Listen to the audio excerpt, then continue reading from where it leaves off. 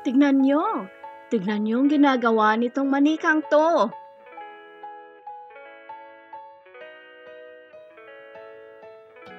Maligayang pagdating sa maglaro tayo, mga laruang pambata. Ito ay napaka-special na video para sa inyo. Ito ang Love, Love Bella doll na isang maliit na batang babae. At ito ay super realistic na manika. Battery operated ito at pwede ito sa mga batang 4 years old pataas. So, ayan, pwede itong turuan ng mahigit 100 na mga salita. At talaga, ito ay tulad ng isang tunay na bata. Nagigiggle siya pag kinikiliti ito. Pag hinto mo, hihinto na rin to. So, pwede kayong maglaro na ganito. Um, ayan, pag iiyak ito, pwede mo itong bigyan ng pacifier. O, ayan, ayan na siya. Gumagalaw yung bibig niya, tapos yung mga mata niya. So, ayan. Uh, so, actually, naka-switch on na yan at patuloy itong umangawa. So fascinating. Napakalaki ng mga mata at ang ganda ng kulay ng mga mata niya. So, tignan natin kung ano-ano pang mga functions nito manikang to. So, ayan, nagsasalita ito. So, palagay ko magiging masaya ako pag meron akong ganito nung bata pa ako. So, eto, bibigyan ko ng chupon ang manika at mm, ayan, kailangan mong ipasok ng mabuti sa bibig niya. So, ngayon, may chupon na siya para na itong inaantok.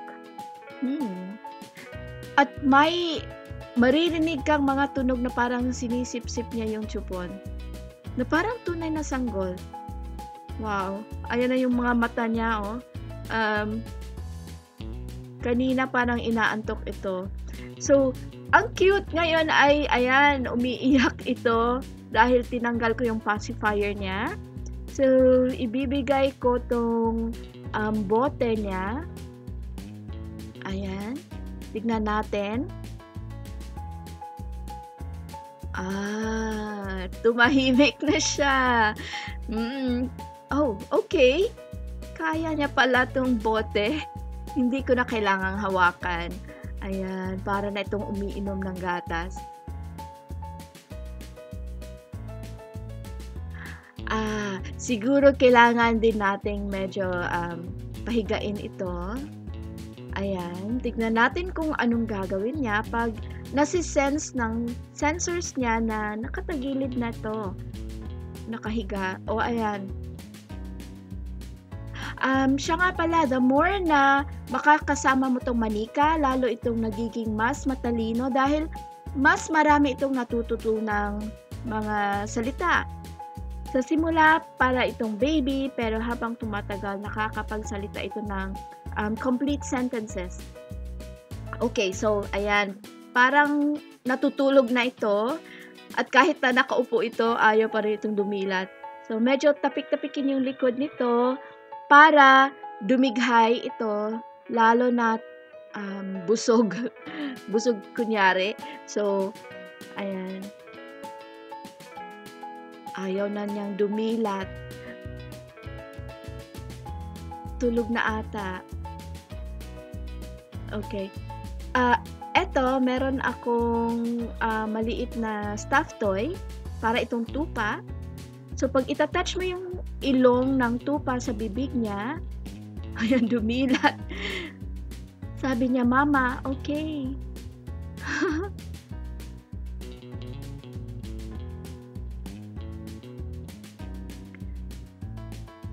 Ayan, gumagawa ito ng mga tunog na parang tupa. At hinahalikan pa niya ito. Oh. Gusto ko na agad tong manikang to. Di ko, di ko ma-imagine kung ano pa ang pwedeng gawin nito. Mm. Ayan, kinis niya yung tupa. Wow, ang cute niya.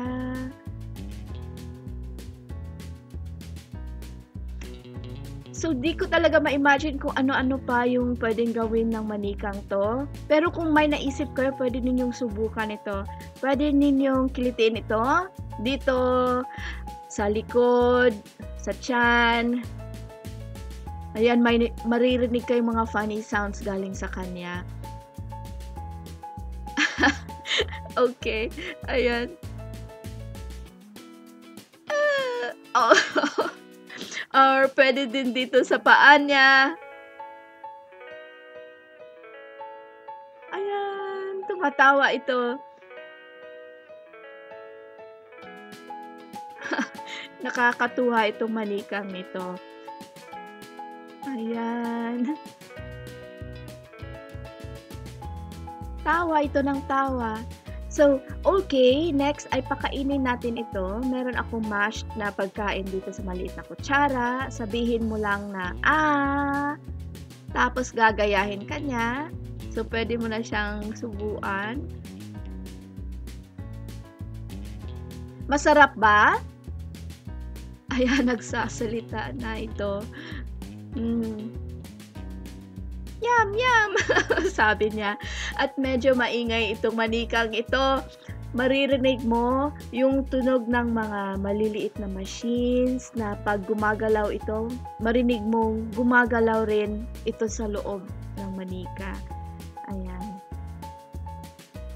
I think ngayon sinasabi niyang ayaw na niyang kumain. Medyo umiiling na ito. At siguro feel niya na busog na siya. Um, di ko pa pala na ipakita sa inyo yung laro naming hide and seek. So, takpan lang ang kanyang mga mata gamit ang iyong kamay. Siguro mga 3 seconds lang. Tapos, ayan na. Sabi niya, kuku, kuku. Na tamang-tama sa larong ito. So, ayan, 3 seconds lang, i-cover yung mga mata niya. Ayan, gumagalaw yung ulo niya. Tapos, sasabihin niya, kuku! Wow! Ang cute nito talaga. So, tignan natin kung ano pa pwede natin gawin sa manikang to. Feel ko na may marami pa itong magagawa. So, eto, pag ihiga mo ito, syempre matutulog ito. Okay medyo matagal pa itong matutulog at nagsasalita pa ito. So, hindi ko maintindihan sinasabi nito. Parang baby talk.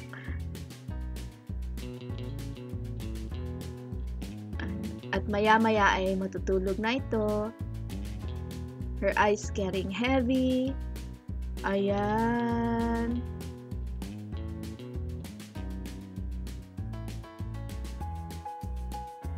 Oh, ang cute ng mga mata niya.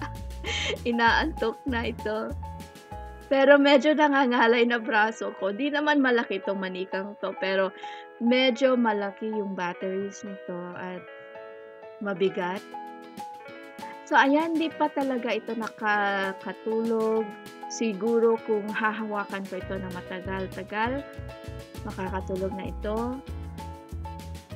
So, kung ihiga mo at ilagay mo yung um, kamay mo dito sa kanyang chan. Ayan. Uh, magbo-burp ito at maririnig mo rin yung kanyang heartbeat.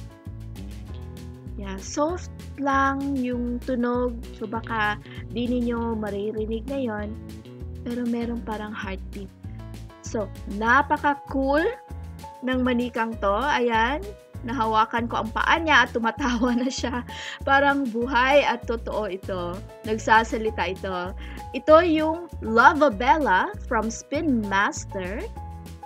So yeah, sana ay nagustuhan ninyo